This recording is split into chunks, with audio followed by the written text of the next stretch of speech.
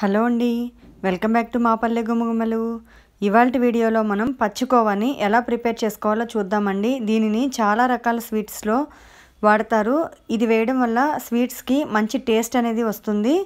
ఈ కోవా కనుక మనం పర్ఫెక్ట్గా చేయడం నేర్చుకున్నట్లయితే దీనితోటే మనం గులాబ్ జాములు మలై లడ్డూలు ఇంకా స్వీట్ షాప్లో దొరికే స్వీట్స్ అన్నీ చాలా ఈజీగా ప్రిపేర్ చేసుకోవచ్చండి. ఇంకా లేట్ చేయకుండా ఆ ప్రాసెస్ ఏంటో మనం ఈ వీడియోలో చూద్దాం. దానికి ముందుగా ఒక కడాయి తీసుకోవాలండి. ఇక్కడ నేను నాన్ స్టిక్ యూజ్ చేశాను కాబట్టి దానిని వాష్ చేసి పెడితే సరిపోతుంది. మీరు గనక స్టీల్ కడాయి తీసుకున్నట్లయితే అందులో ముందుగా ఒక పావు కప్పు వాటర్ని పోసుకొని మరిగించుకొని దానిలో పాలని యాడ్ చేసుకోవాలి. ఇక్కడ నేను ఫుల్ క్రీమ్ మిల్క్ తీసుకున్నానండి. మనం ఫుల్ క్రీమ్ మిల్క్ అయితే కోవా అనేది చాలా బాగా వస్తుంది. దీనిని హై ఫ్లేమ్లో పెట్టుకొని ఇలా కంటిన్యూస్గా కలుపుతూ పాలని మరిగించుకోవాలి. ఇక్కడ మనం ఫ్లేమ్ని సిమ్కి కానీ మీడియంకి కానీ అడ్జస్ట్ చేసినట్లయితే అవి తొరకలు కట్టేసి అడుగంతా మాడిపోయి కోవా టేస్ట్ అనేది అంత బాగోదండి. అందుకని హై ఫ్లేమ్లో పెట్టుకొని కంటిన్యూస్గా ఇలా కలుపుతూ మరిగించుకోవాలి.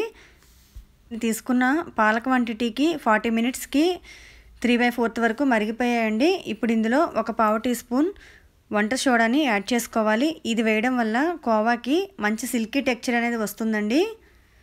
ఇది వేసిన తర్వాత కొంచెం నురగలా వస్తుంది. దానిని అంచుల వెంట నుంచి లోపలికి తీసుకొని ఇలా కంటిన్యూస్గా మరిగించుకుంటూ ఉండాలి. ఆల్మోస్ట్ ఇది దగ్గరగా అవుతుందండి. ఇందులో మనం పంచదార అనేది అసలు యాడ్ చేయనేకూడదండి. దీనిని మనం బయట మార్కెట్లో కొనాలంటే ఫైవ్ హండ్రెడ్ వరకు ఉంటుందండి కిలో వచ్చి. ఇక్కడ నేను తీసుకున్న లీటర్ పాలు క్వాంటిటీకి టూ హండ్రెడ్ గ్రామ్స్ కోవా అనేది వస్తుంది. ఈ కన్సిస్టెన్సీ వచ్చిన తర్వాత మనం ఫ్లేమ్ ఆఫ్ చేసుకొని ఈ కోవా అంతటిని ఇలా అంచుల వెంబడి ఇలా పైకి తీసుకోవాలి.